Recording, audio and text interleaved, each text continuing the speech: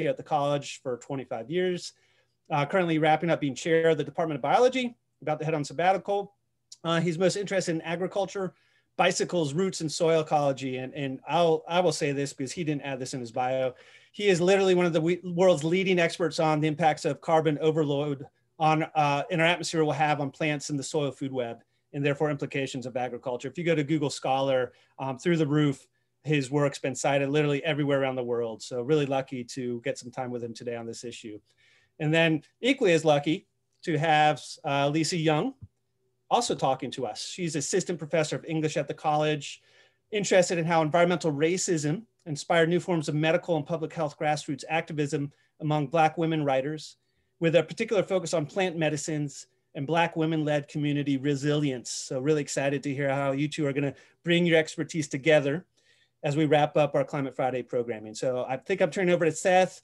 If you have questions, please put it in the box and we'll have time for question and answer uh, for that last 15 minutes. So if not, write down your questions for them. All right, rock and roll. Can you all uh, hear me and see my um, PowerPoint presentation here? You're good. I'm Good. Well, thanks everybody for inviting me. Todd, thanks for that great introduction. I almost think maybe my mother had something to do with that um, because she's the only one that would talk so nicely about me. And sometimes I wonder about that now, actually. So I, so what I thought we'd uh, do here is I'll start out kind of talk about some boring science stuff, um, kind of from a broad global perspective, and then um, let Lisa take it from there and bring it sort of um, bring things into a context that's more relevant for us here in the low country and here in Charleston. So first and foremost, um, let's talk about where we came from agriculturally. So this is a, um, a, a, graph of the last temperature series for the last 18,000 years or so. Um, and the striking thing here is how variable our temperature was until about 10,000 years ago. Probably not coincidentally, agriculture has been, is, is thought to be about 10,000 years old, maybe a little older. Um, so crop domestication kind of rose up um, at about the same time in history and a number of different places around the world. So it's probably this fairly stable climate of the Holocene that's made agriculture and agrarian um, lifestyle possible. Okay, so if you look at what's happening in this agricultural sequence just over the last 100 years or so, um, we've really taken a radical departure from the previous 10,000 years of how foods was produced. So in the last 100 years, we, we discovered oil, um, human populations skyrocketed uh, since the Industrial Revolution, particularly since about 1940, 1950, human populations have really um, skyrocketed all around the planet. And the way we do agriculture has been fundamentally changed. So you all know about the Green Revolution, maybe from the 40s to the 1970s. Really, we transitioned to this um, more industrial form of agriculture that's very high input. It functions or it runs on an energy deficit. It takes us more energy in, uh, in fossil fuel use to create a, um, a calorie of, of food energy than is sustainable. So we're running it at an energy deficit. We're functioning on prehistoric sunshine, basically. So that's not sustainable. So this climate changes uh, threaten to sort of knock us off this, this sort of stable 10,000 year run of temperatures that we've been enjoying.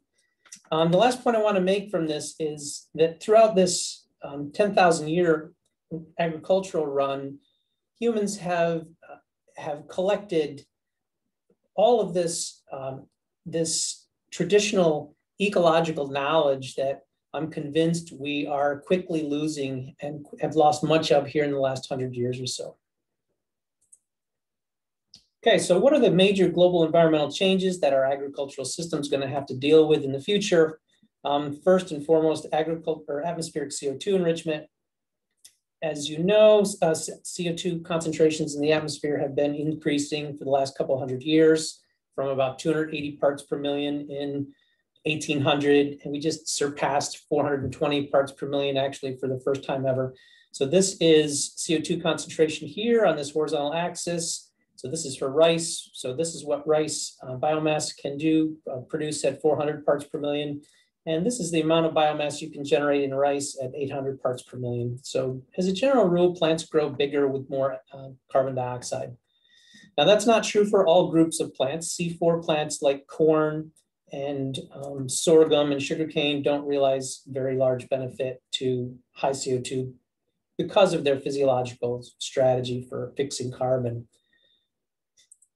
The other major, well, let me add that although plants, uh, C3 plants grow much bigger in CO2 enriched environments, their nutritional quality decreases significantly. So this is a graph that shows protein of, of wheat flour on the horizontal or the vertical axis versus atmospheric CO2 concentration. So here we are at current ambient levels. Um, and as you increase the, the concentration of CO2 that wheat is grown in, its protein concert, concentrations steadily decline. Important implications there for human nutrition, clearly. Um, this bottom graph is a summary of 125 different crop species. Basically what this shows is the um, concentrations of essential minerals at elevated CO2, 689 parts per million, million relative to um, concentration in today's crops. So across the board, we see nutrient um, mineral levels are, are consistently decline when you grow those plants in elevated CO2. And protein declines in a number of crops, barley, rice, wheat, potatoes, etc. So plants are less nutritious. Crop plants will also have to contend with um, global warming. So we have this increase in um, temperatures, both means and extremes. This kind of tells the whole story for temperature responses. This is wheat yield in Mexico. So on this um, vertical axis is yield in tons per acre. This is January through March nighttime mean temperatures. So uh, with an average nighttime temperature of eight degrees Celsius, you can um, expect to get six tons per, uh, per hectare of wheat yield. If you increase the temperature to 11 degrees, that yield goes to 4.5 tons per hectare. So a pretty radical drop in, in yield can be expected in wheat um, and also our other field crops, including rice and soybeans. So the third environmental change that crops are going to have to contend with are, are climate uh, is climate variability. So we're going to have more extreme extreme events, more extreme rainfall events, longer droughts, more extreme droughts, um, things like that. So basically, um, it, this, this shows the temperature or the um, record of corn yields from 1960 through 2008 or so. And most of the years with, with poor corn yields, yields can be explained by some unusual climatic event, a flood or a drought, um, early spring frost, something like that. So these unusual events are, are the new norm and so are expected to challenge our ability to produce crops. So this is, uh, these are data from a paper that just came out actually last week. Um, and this is from a group at, at Cornell and they found that total factor productivity of crops has been reduced 21% by anthropogenic climate changes since 1961.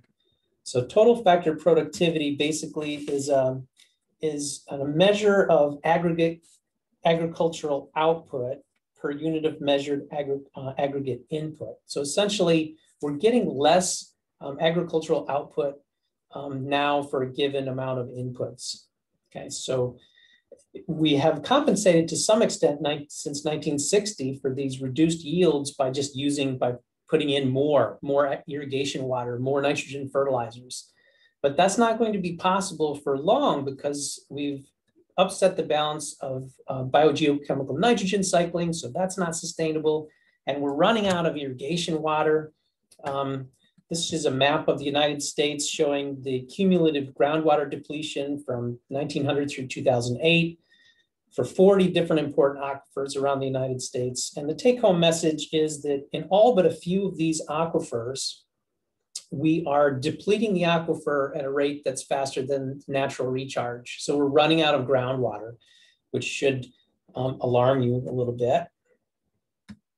So we've got some real challenges that the agricultural system is going to have to deal with in the future. So if you go into the literature, um, you can find lots of different strategies that have been proposed to build a more resilient agricultural system. Um, the Food and Agriculture Organization is calling, calling a lot of these techniques climate smart agriculture. So how do we build an agricultural system that doesn't emit greenhouse gases, that instead sequesters carbon?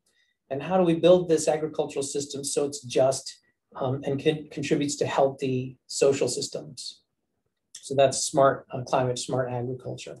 So this is kind of a laundry list of some of the ways that we need to, uh, some of the techniques we can use to fix our agricultural system, regenerative agriculture, agroforestry, intercropping, um, traditional composting, you can read through the list. So there's a lot of different um, tools that we can use to kind of become more sustainable. But none of these are new, right? So these are already, all of these strategies are already integral components of indigenous or place-based agrarian agricultural societies. We've been doing this for 10,000 years. We just need to kind of rediscover these techniques um, that have been developed and are tried and true. So we've abandoned these in the last 10,000 years in favor of, of, more of a totalitarian monoculture agricultural system, but um, these are not new ideas. So traditional agricultural techniques are, are highly variable, um, and, and that's because they're built really um, to work within a given environment. So what will the environment support?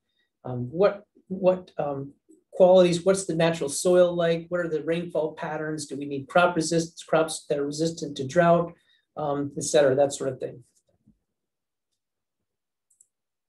Traditional ag techniques do share some, some characteristics. They tend to combine species and structural diversity in time and space. So traditional agricultural systems tend to foster biodiversity of microbes, um, animals, insects. They promote natural cycling of, of, of nutrients. So nutrients are sourced locally. They're not brought in in the form of chemical fertilizers from somewhere else. Traditional systems tend to value biodiversity and biological interdependencies. Um, they provide pest resistance through natural means such as competition or interference rather than chemical inputs and things like that. So we, they combine species in time and space. They tend to exploit all different microenvironments that differ in soil, water, temperature, et cetera, um, as opposed to current agricultural systems which, which, which strive to homogenize the environment um, into one single uh, environment that's conducive to the growth of a single crop like corn or soybean or whatever, monocultures. Finally, they rely on local resources plus human and animal energy using little modern technology.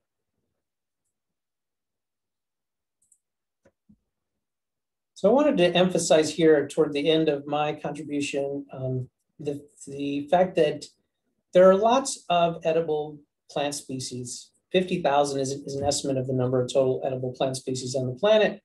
Um, but today, just 15 of those provide about 90% of global food calories. And just three of those, rice, corn, and wheat, provide over two thirds of global food calories. And what's concerning is that rice, corn, and wheat, as I explained earlier, are not going to do very well in a in a changed in a, in a climate change world, right? So they don't tend to tolerate high temperatures and extreme weather events. Yet lots of these other edible foods, edible crops, do in fact tolerate drought stress better. They tolerate um, stress from herbivores. They're more, more resistant to fungal pathogens or bacterial pathogens. So we need to sort of rediscover a lot of these forgotten crops. And here's a list on the right. Um, and the list goes on and on, sorghum, millets, uh, cowpeas, et cetera, et cetera.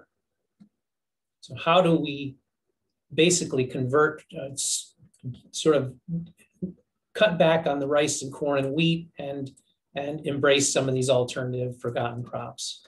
It's a big question, I suppose. So I think earlier Todd referred to this situation as a wicked problem. It seems pretty easy to me. Um, I'm just a dumb botanist, but it seems pretty easy how we fix the agricultural system here. And um, I'll kind of explain it to you. So here's where we are. We're at this, we're in this industrial agricultural mode. And this is where we need to be. We need to convert to this climate smart agriculture. The question is, how do we do that?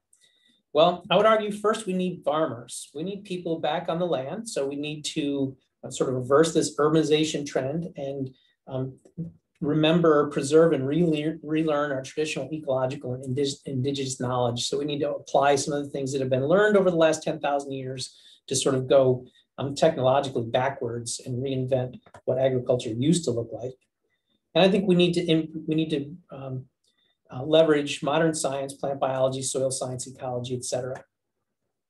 We need to change perverse government subsidies, right? So by and large, our subsidies are propping up a very small percentage of industrial agricultural practices around the country. So the top um, five biggest producers of, of food receive the lion's share of agricultural subsidies. So we need to stop doing that. And we need to change our, our government subsidies in ways that promote um, a more sustainable agricultural system. We could put some Pigovian taxes in place. So for that um, man burger that, that, um, that, that you get at Hardee's, there should be, um, we should pay for the externalities that are associated with that burger. There's a lot of carbon that's emitted, a lot of nitrogenous uh, wastes are produced. So we should pay for those. Those are externalities and those, those costs need to be brought, um, brought forward. And at the same time, we need to, we need to reward um, agricultural practices that sequester carbon and subsidize those and artificially deflate the price of those products. So I've pretty much got it all figured out here. Um, we just, I guess, got to get got to get to work. Um, so with that, I'm going to pitch it to Lisa, and she can make some of this stuff a little bit more relevant and interesting in terms of uh, what's going on here in Charleston and Low Country. Lisa?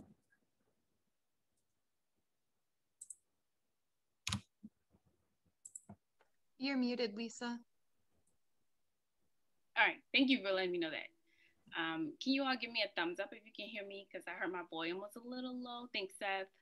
Um, thanks, Blake and Maya and Julia and Caitlin. Okay, so I want to pick up where Seth left off. And one of the questions he was asking is how do we either return to or either learn from traditional agricultural models? Um, even if we don't necessarily return to them, what are some of the implications and the um, the things that we can learn from uh, and glean from um, this historical lens of interacting with the environment? But then also, I think Seth is bringing up a really good point about rediscovering the value, as he says, rediscovering the underutilized crops based on the local ecology. So that's what my talk will take, um, or that's the lens through which my talk will um, manifest. I'm going to share my screen. And as you can see on this screen, the title of the talk is What Black Women Writers Have to Teach Us About Climate Change. And I've given this talk before, and I've usually called it What Black Women Writers Have to Teach Us About Climate Change or the Future. But in this particular talk, because I want to pick up on what Seth is talking about, I want to ask what can Black women writers teach us about the future of medicinal plants? And as a way of kind of like opening up and setting the stage for that, I really want to, let me make my screen a little bigger. I really want to begin with this, this talk back forum that a couple of social justice warriors in Charleston um, and I put on in 2019, and it was called "Come on, the Come on in the Room: Afrofuturism as a retroactive form of healing.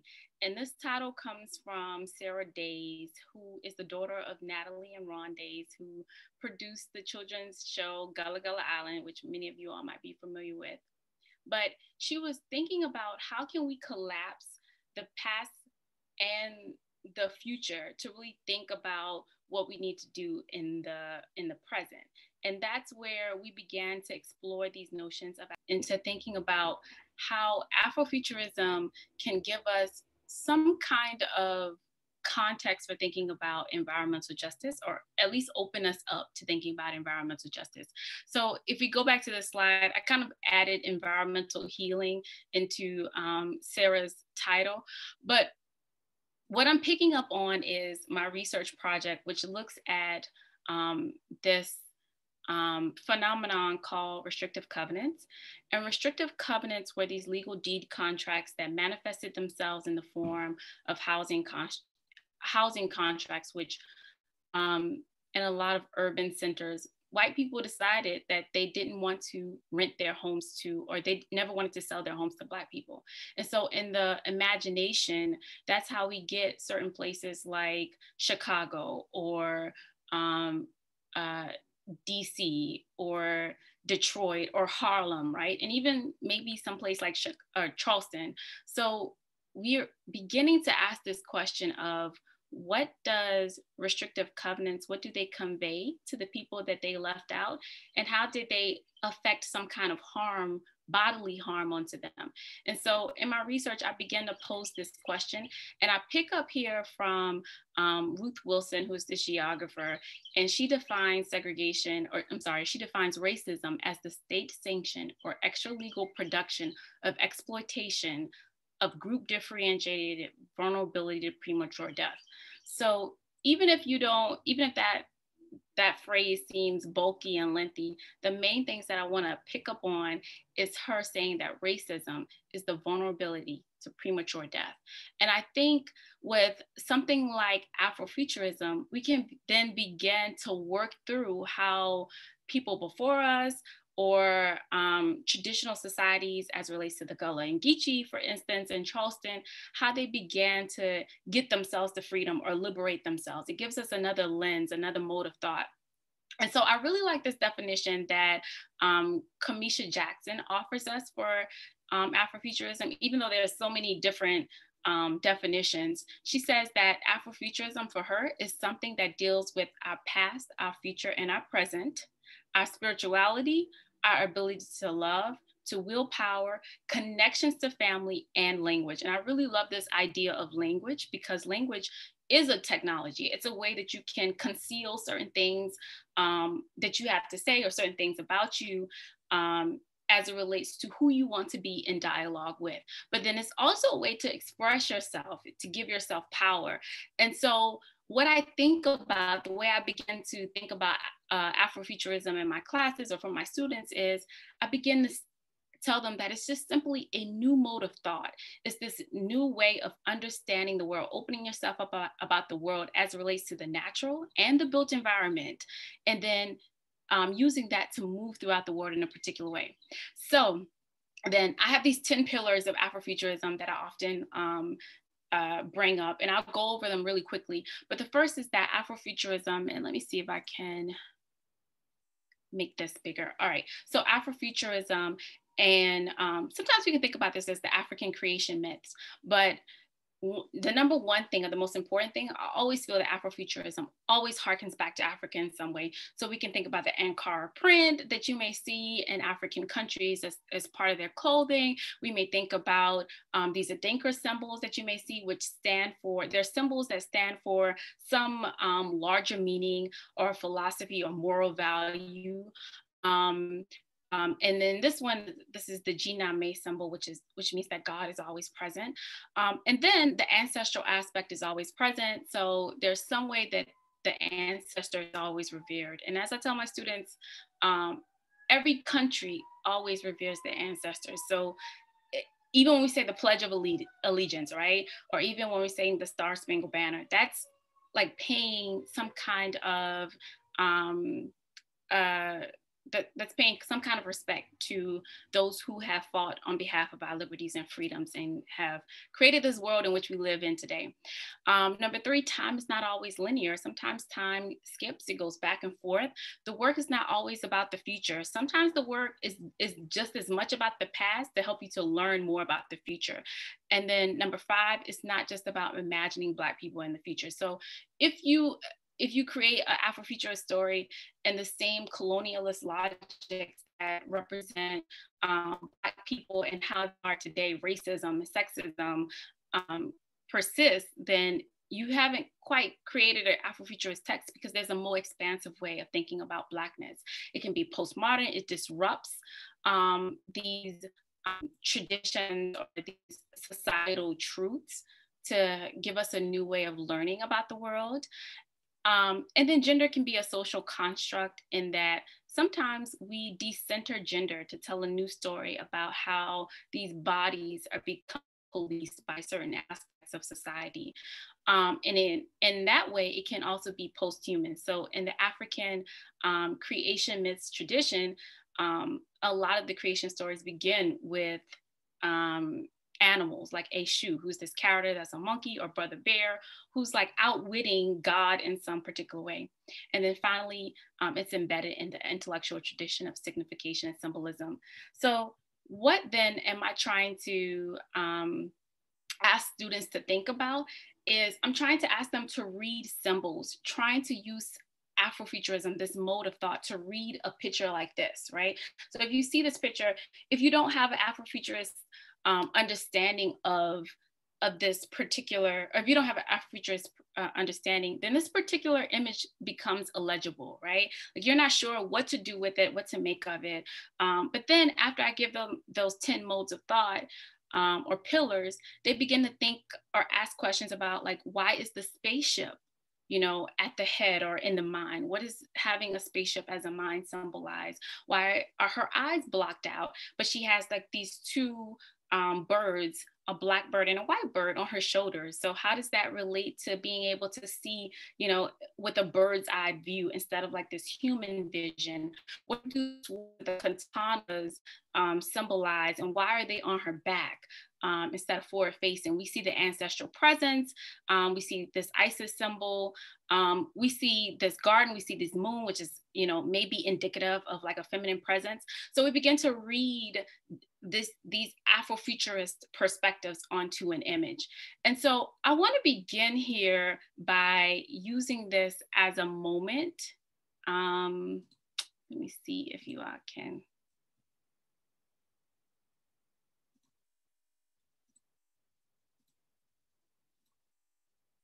Let me share my screen so you can see the right screen. All right.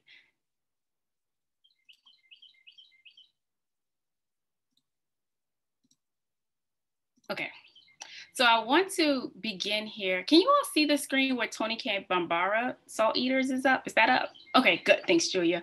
So I want to begin here as a moment to think through what Black women writers, how they, even if their texts are not Afrofuturist, how they invite us to think about um, navigating through environmental um, concerns or traumas from this more expansive view. So how they fold into their reality and make sense of you know the, the housing crisis that they're facing as being similar to the way in which we degrade the environment.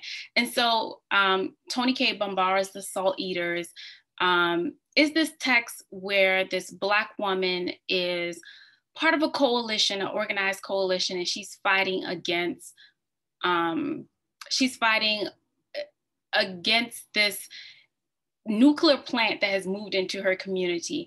And then at the end, she becomes so exhausted with the fighting and, and being on the front lines of, of being part of this laboring movement that she ends up in the hospital. And so the very first line of the text begins with this line that, that says um, from this healer, she, the healer asked her, Are you sure, sweetheart, that you want to be well? There's a lot of weight when you're well. And I want to pick up here with this line because um, Nikki Giovanni came to um, College of Charleston maybe two years ago now. And she came here after the publication of her book called A Good Cry. And she said that um, a good cry was a result, or she she titled her text a good cry because she had just survived cancer and she went in to the doctor and the doctor said, You're suffering from hypertension. You're eating too much salt, like get rid of all the salt in your diet. And she said to him, like, I'm not suffering from too much salt. I'm suffering from not releasing the salt. I'm suffering from not, you know, crying about it. And so her text then or her poetry was about releasing that salt and so Toni Cade Bambara, I think she's remixing. If we go back to the 10 pillars where we're saying it's about signifying and, and building off of something, she's kind of like re, like signifying or signaling to us um, Toni Cade Bambara's The Salt Eaters, where this um, protagonist is losing herself And then the healer says, I'm going to lose the patient too. I just can't seem to generate the energy to bring her back and restore her.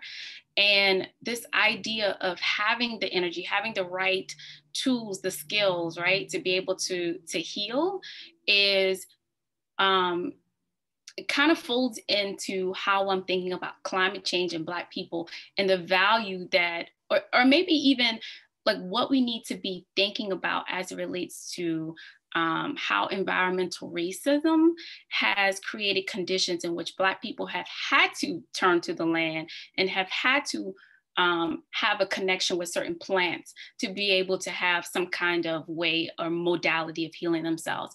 And at the end of the book, she ends up being able to heal her only through this wizened community of ancestors, which again harkens back to the ancestral presence. And then um, as a result of these ancestors, um, you read this line where it says, suddenly the needle in her mind, which is this imagined phonograph that plays the sound of her memories back to her, causes her to lift the actual needle, needle, which is sedating her, to yank the arm away and pull away the machinery in favor of her own voice. So I want us to begin to like really think through Afrofuturism as opening up ourselves to um, think about how we can connect with with the land to understand what what it can teach us about healing.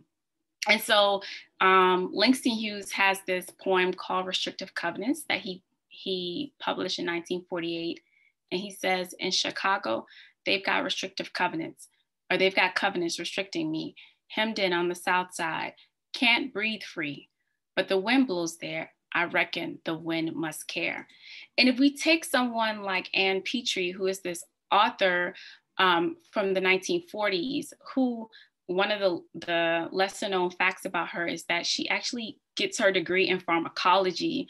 Um, and so her, fa- her family is one of the first pharmaceutical or Black owned um, pharmacies in Connecticut we can get a sense of like why she's incorporating so many instances about breathing and breathing insecurity and how the environment creates these moments which kind of like restrict the breath and restrict you from being able to, to live freely.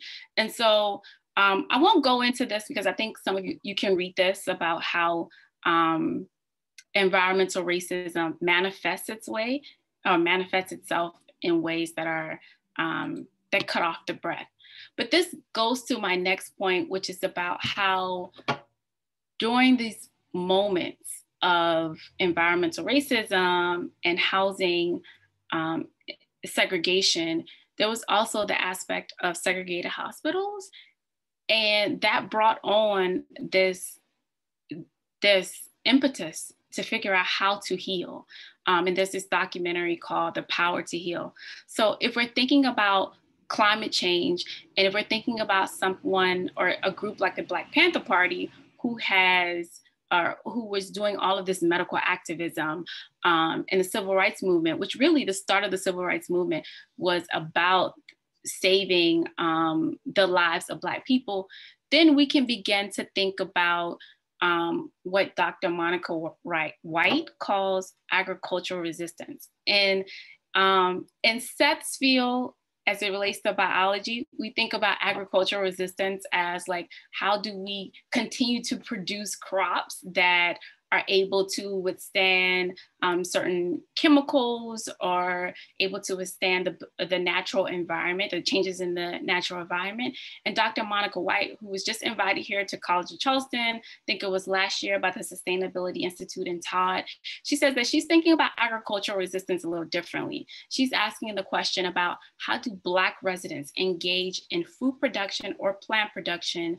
um, in ways that transform communities and build community su- sufficiency or self-sufficiency and um, part of the things that she says about agricultural resistance is that there's some form of economic boycotting right because you can use you can live on the land and you can become self-sufficient in ways that you don't necessarily have to be part of the larger capitalist society um, and this is really the, the foundation of the civil rights movement.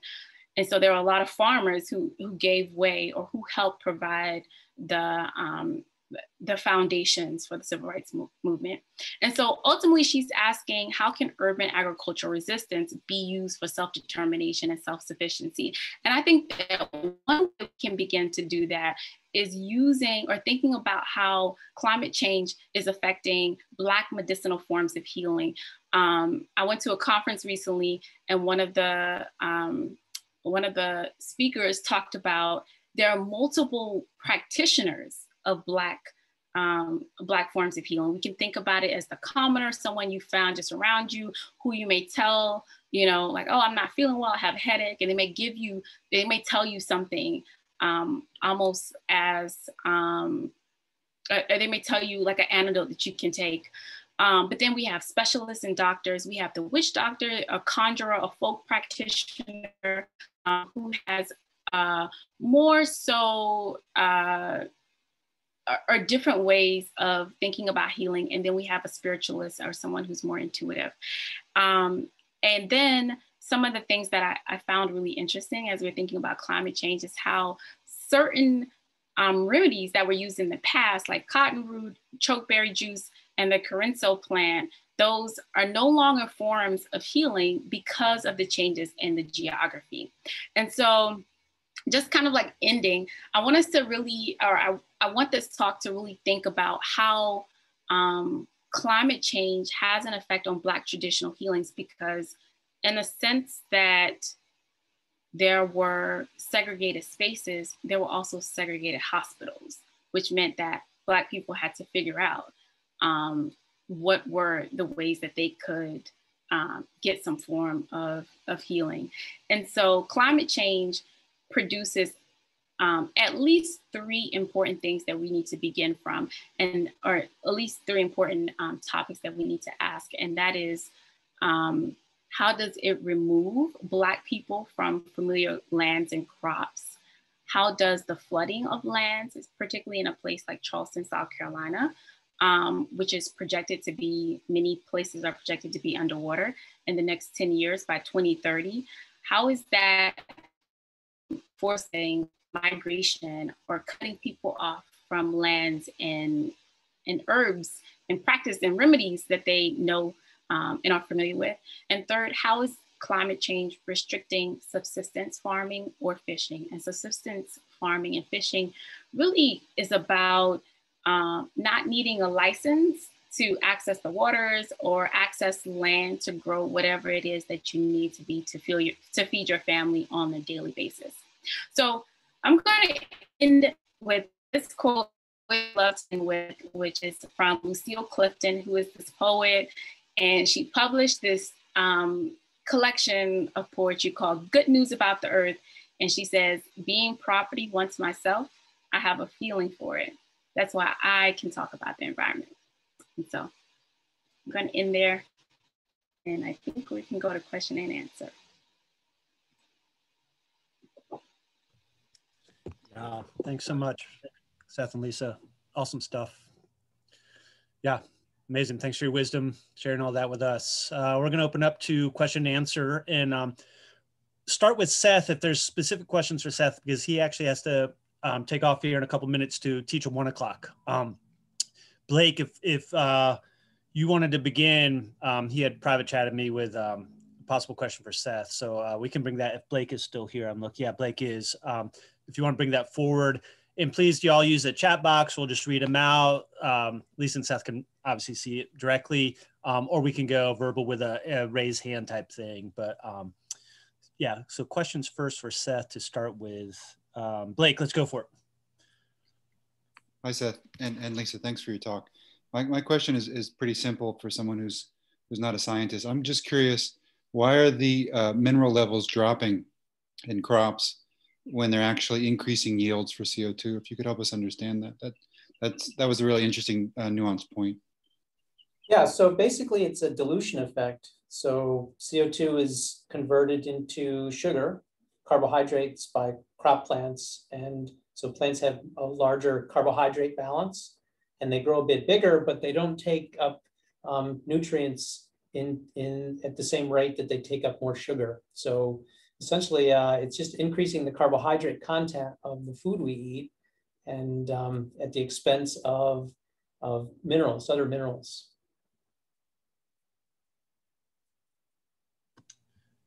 Cool. Thank you. Um, Marianne, do you want to uh, ask verbally or I can read it? You can read it. Okay, cool. So Seth, uh, can you please talk a bit more about seed protection? And then Lisa, maybe you can follow up a little bit more, depending on where Seth goes with this, and, and tie it back in what with what you're seeing locally. So Seth, starting with you, um, seed protection, maybe more specifically, like the need for that within the context of rapid climate change and changing soil and climate conditions. Yeah, I mean, so you're you're referring to the preservation of germplasm, yeah? Right. Mm -hmm. Yes. Yeah, so we've already lost some germplasm globally. Um, there are um, our own Department of Agriculture has uh, uh, um, spends a lot of time preserving germplasm. There are other countries around the world that are preserving germplasm, um, but we need to be um, doing our best to safeguard land races of these various crops. These what I described as forgotten crops, so that we don't lose them for sure. Um, yeah, good question. Yeah, and I may not be answering this in the most scientific way, but when I think about seed protection, I may have mentioned this at the opening, but um, there is a lot of research that talks about how slaves that were transported into the new world, like they they preserved certain plants and seeds on them, on their bodies, in their hairs, um, and I think that has a, a, a, lot to do with what they think they might have needed in terms of subsistence. And I know that we live in a different society. We live in a, a modern society where maybe our needs are different, but scientifically, biologically, right? Like there are certain nutrients that, like, because of the way in which our farming practices kind of like manifest today, we don't have an abundance of those nutrients because the soil is more a little bit more depleted than before.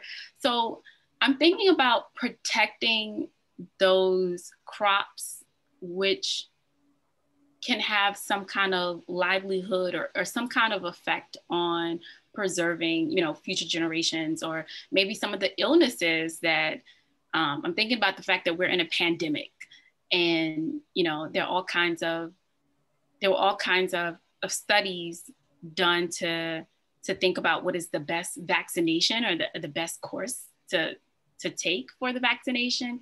Um, and i think the more that we have to draw from the better we can as a society like live in it and thrive in it. So i don't know if i'm asking or answering a question about seed protection but those are the things that are coming up for me. Thanks lisa thanks marianne for the question. Um, I got one for you both, actually. Um, in, in all three minutes, we got to bail out of here, Seth. So, uh, you didn't. So, if we're going to talk about futurism and using science, Seth, you didn't talk about genetic engineering, which which might actually be what we need. And, and Lisa, does not genetic engineering play into some sort of futuristic perspectives of, of benevolent good, maybe, um, right, I'm trying to channel a question here, everybody, for those of you who don't know me, um, right, from another perspective of using technology and climate change for good that doesn't look back to like anachronistic, right, peasant life ways. So we can imagine somebody maybe thinking and asking this way. So yeah, Seth and Lisa, what do you have to maybe say about that? Um, well, actually, I, I didn't mention genetic modifications, GMO crops in specific, but that's part of our scientific toolkit that we can combine with traditional ecological knowledge um, to build a more um, resilient food system. So in terms of genetically modified organisms, um, the genie's out of the bottle. That's, I mean, we have it. It's part of, it's, it's here to stay. We need to try to um, do as good a job as we can stewarding those genetically modified organisms and making sure that um, we're doing the right thing. But that's a part of the solution. Yeah, and I think, oh, I'm sorry. Uh, please go ahead. Okay. Yeah, you know, you know, when you're talking about like genome editing and, and things like that, I always feel like, or like, you know, drawing back or thinking back to maybe how this is primitive, but we're always using the past as a, a roadmap, I'm reminded of something that someone, like one of the speakers said in the reparations forum that we just had. And she said that it was like slavery is not something that she's sad about. It's an honor for her because it's this moment in which she learns from it. Um, and so I, I think that even in all that we do, genome, genome editing, I think has its plus and cons or pros and cons.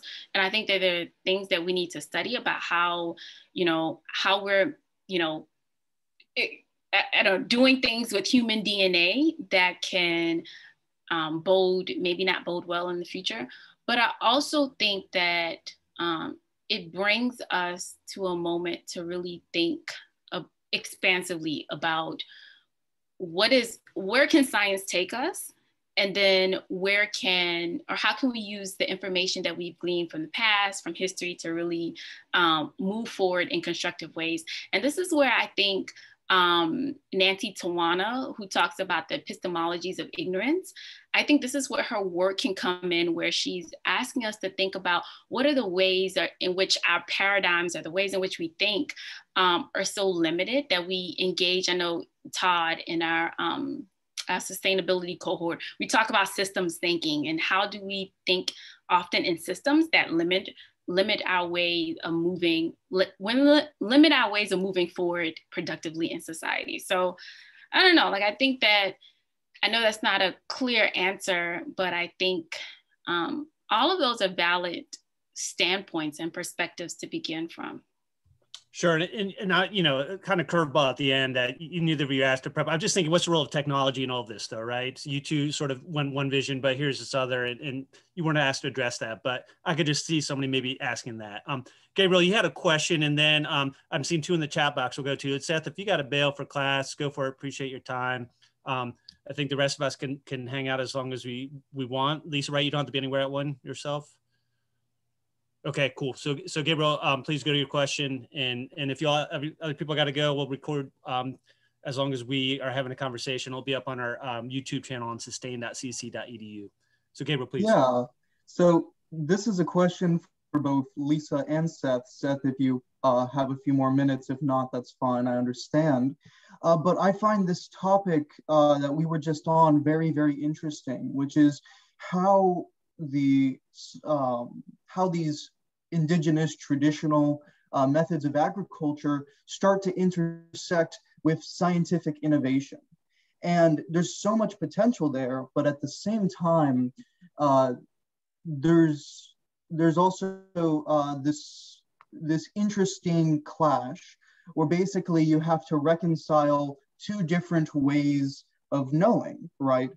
Because the, the traditional, the indigenous agriculture is based on other um, other cultural ways of understanding the world systems and understanding the, what agriculture itself is. And that gives rise to so many uh, amazing uh, regenerative practices. So what happens when that becomes combined with scientific objectivism and you have a point where maybe science for the point of uh, creating greater efficiency starts to uh, take that apart and materialize it. And at some point, maybe have a moment where science is telling the uh, traditional practice of agriculture, uh, this is objectively the best way to do things. Uh, your tradition, now that we've picked it apart, is wrong. Would that be missing the point? Would that ultimately just lead uh, to more destructive practices down the line? It seems like we're almost going to have to translate between the two different epistemologies in, in a way that's respectful of both and uh, creating uh, uh, some sort of synthesis. And maybe this is where things like Afrofuturism comes in. Um, and maybe this is just where ex scientific experimentation comes in and understand creating some understanding between the two. So I'd appreciate your guys' uh, perspective on that.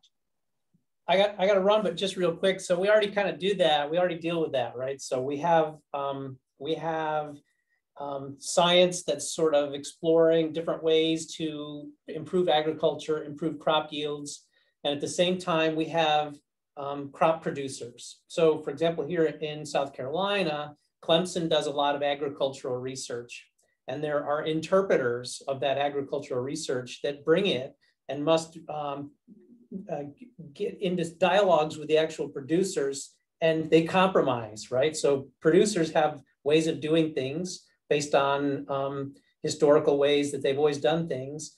Uh, the, the scientist from Clemson has new ways of, uh, of, of going about the same thing. So um, there's a, somebody called an extension agent that sort of acts as a go-between the academic piece and the and the the practitioner, right? And so we already sort of have a model for that. So um, with that, I got to run. But thanks for that question. Great question. Thanks all. Absolutely. Thank you. Yeah, thanks, Seth. Um, hey, Jen and Blake, do we do you mind if Lisa combines your two questions into one? I I, I think they maybe resonate with one another. Uh, I don't. Uh, uh you two are still here. Um, yeah, Lisa, sure, not at all. Chats? Not at all. Lisa, you you able to you you're seeing the chats? You able to see them? Okay. I, I haven't read it. I did have a response to Gabriel's question. No. Okay, um, so I haven't read that, and I, I will read it um, in a second. But I think Gabriel, I, I love the question that you're asking because it is so deeply tied to how we think and and you know just the idea of epistemology right? Like how did you learn to think in the way that you do? How is like how, how do we know science is science or is valid science? I was reading some article which said that um, in the top journal scientific journal nature like less than like 1% of the studies are replicable. Um, and so eh, like what it, what does it mean to be a scientist? And i think um, one of the things that I appreciate about a um, epistemological construct or a new way of reading the world um, as it relates to Afrofuturism, especially because I'm in a space like Charleston where I can wind up in a space that's a plantation any day, you know, and as a Black person, I'm always trying to, to make sense of that. I think um, it helps us to, to challenge, to critique, you know, uh, the things that we may already just see as scientific thought um, or scientific inquiry. And um, one of the things that I think a lot of Black women writers do is they begin to see, like, for instance, the waste that is around them as symbolic of the ways in which their own lives, or they're seeing waste appear in their own lives, or their own lives wasting away. So they're beginning to draw these um, uh, inferences between how their own degradation is tied to the degradation of the earth or the planet that we're supposed to, to hold sacred. So I, I think I, I really love your question because I think it's you beginning to ask and challenge um, all of the things, like the way in which we we build a future society. So so thank you for that. Yeah, thank you for your answer. I, I think what I'm kind of getting from this is that you know, the first step is is uh, recognizing that all these different diverse systems have value. There is no one answer. And yeah. once we recognize that, we can say, okay, how can we move forward with all the tools in our toolbox? You know, we it's it's like we're only using one tool right now. We're using a hammer for everything. But if we use more of the different tools, we can't without and doing our best to to see that they all have value in different situations maybe we can uh, just create more innovation and just have an awareness that we're trying not to step on each other's feet uh, in doing so. And we're just going to do so with good faith and try to have the best outcome because ultimately we all want the best outcome. We want to use anything that's going to get us there. Beautiful.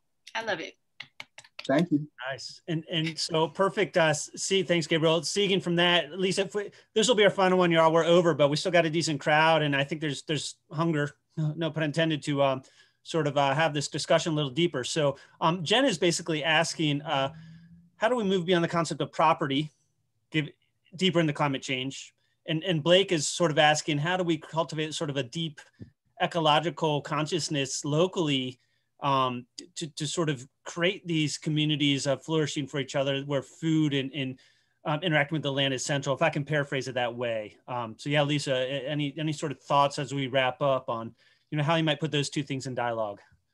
Yeah, I think those are two great questions that I would pose to like, you know, the community to ask them um, to ask like a broader question. I don't think there's any one particular response, as Gabriel has kind of like brilliantly alluded to.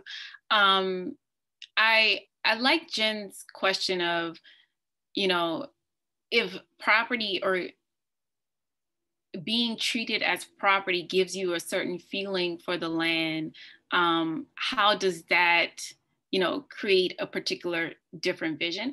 And I think the short answer to that then would be how do we, you know, how are we able to exist in a space without feeling um, whether it's pro- police brutality creep up on you, whether it's not feeling like racism or, you know, those ways in which you feel racism, right? That kind of begins to serve as the roadmap for creating a more equitable or just um, landscape or geography. Um, I know Katherine McKittrick has this concept called geographies of resistance, but I think sometimes when you don't have to resist, that could be a standing point or a starting point for thinking about um, it, you know, like a more freer society as it relates to climate change or environmental security and environmental justice. And I'm sorry, I'm not like Jen pinpointing exactly or like giving you like very direct questions. I mean, I'm sorry, direct answers, but That's, that's very helpful. Thank you. I appreciate your thoughts about it. So no worries. okay. Blake, Blake, anything more you wanted to to to add to to that and in, in dialogue with Lisa on? Did that get at what what you were thinking too?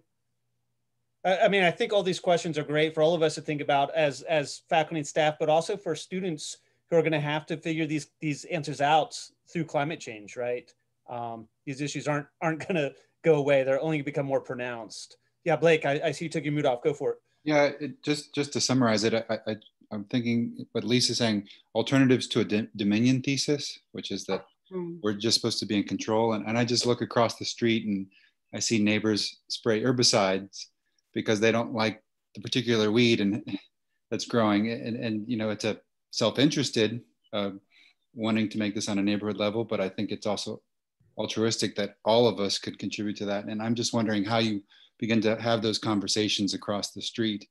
Um, uh, so that, I'm just looking for some neighborhood advice. That's all.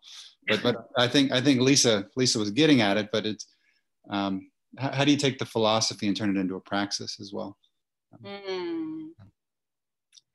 Yeah, I like to whenever I'm talking or whenever I'm teaching this to my students, I really do um, draw from like the five key layers of sustainability um, that you know the sustainability literacy institute um, champions and that is thinking about the intersectional ways in which um, you know the unequal access to the environment manifests so that's the economic that's the ecological that's the social, the political, um, and then the personal. And when I teach it, I teach it from the the bottom up. So thinking about the personal, like like your like your morals, your values, your emotional attachments, your fears, your shadows, how all of that becomes indicative of how you move throughout the world and how you decide who who should have access to things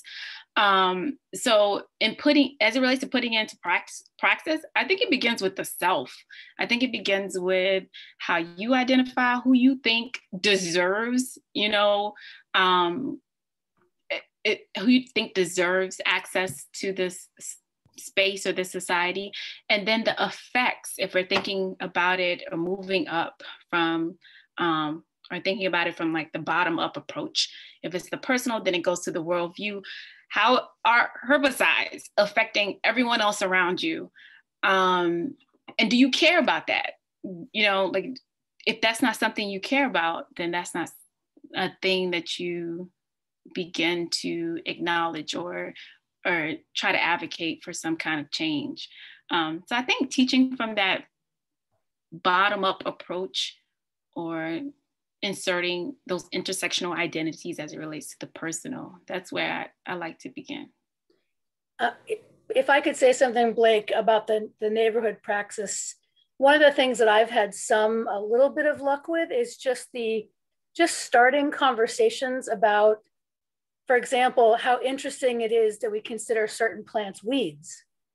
Because it's it's often I find people, the people you know that live around me, the people that I talk to, they hadn't thought about that before. Like they haven't they hadn't thought about the fact that a particular plant's considered a weed as opposed to a plant and like what that means and how that labels it in a particular way and it generates a particular set of emotional responses such that it's undesirable and you have to get rid of it. And you know your your willingness to use a poison to kill a living thing is being generated by by something as simple as oh that's a weed that's bad.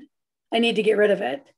And so and, and so without there being any sort of accusation or any sort of you know you're destroying the planet by doing that or whatever just just even raising the question isn't it interesting you know that we do this that, that we call things weeds? I've, I've had some really fascinating conversations and sometimes people are a little off put by it at first but then later on they come back and we have more conversations. And i think that that's if there's going to be anything that's going to help to start raise that awareness sometimes just thinking about our language and the simple way in which our language has these really powerful effects is really helpful. And I think that ties really well, Lisa, into the idea that you just start at the personal level thinking about these things and talking about them. And yes, and a lot of weeds also have medicinal properties like dandelion weed. Dandelion roots and dandelion weeds grow all around us, and we think of it as a a weed, right? But then this ties into what Seth was saying about thinking about those traditional or indigenous um, agricultural models, which they say what grows around you in many ways may be what you need in the moment. And so dandelion root um, or dandelion weed is known for like cleansing the liver um, and like just cleansing the body. And so I think even changing, like you said, Jennifer, the you know the language that we use or how we relate to something like a weed right and how we think of it as a nuisance um, might be might be a good starting point blake for getting your community together in um, like getting rid of the herbicides and things Y'all, Gabriel, I see your your comment. Um, actually, Darcy and I got a one o'clock we got to get to. We've been postponing, so so we're going to have to stop hosting. Um, uh, Lisa, do you mind if people follow up one on one with you? Are, are you okay with uh, Gabriel tracking you down with a follow up if he wants? Yes, please. I would love to okay. talk to you, Gabriel. Cool, cool. So yeah, um, everybody, thanks. Uh, we got an, another event next Wednesday. Rae André and the evening is going to be following up things we can do to bring leadership and to bring uh, solutions to the climate crisis. So everybody's invited to that. And and please go to sustain.cc.edu for more information. There you go. Take the climate pledge. All these talks of climate Fridays through the year are, are going to be up. Most of them already are. And yeah, thanks everybody for your time today. Thank you, Lisa, for sharing your passion and wisdom with us. Thank you everybody for your good questions. Good luck with finals, everybody, and staying safe. And uh, maybe see you next week at the Rae André talk. All right. Bye.